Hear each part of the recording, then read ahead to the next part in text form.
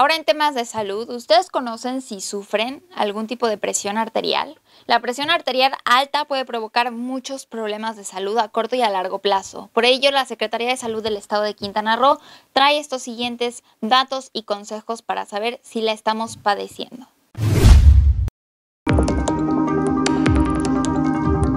Factores de riesgo de la hipertensión arterial.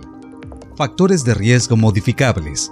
Consumo excesivo de sal consumo excesivo de grasas saturadas y grasas trans, ingesta insuficiente de frutas y verduras, sedentarismo e inactividad física, consumo excesivo de alcohol, tabaquismo, sobrepeso y obesidad.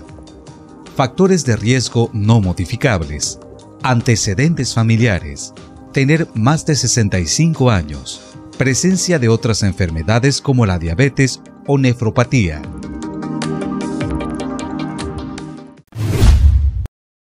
Gracias por estar con nosotros. Soy María José Cadena. Síganos en nuestras redes sociales, por favor.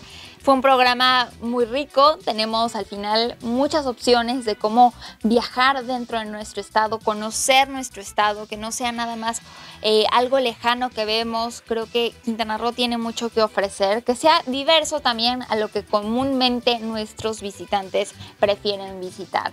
Al final, si no conocemos nada, pues cómo podemos amarlo, cómo podemos contribuir a nuestra comunidad si no nos damos ese tiempo para conocer diferentes lugares, realidades, contextos y sobre todo, pues al final apoyar a la economía local de nuestro estado. Soy María José Cadena y como decía mi padre, hay que hacer lo imposible para pasar a mejor vida en vida. Después, no tiene caso.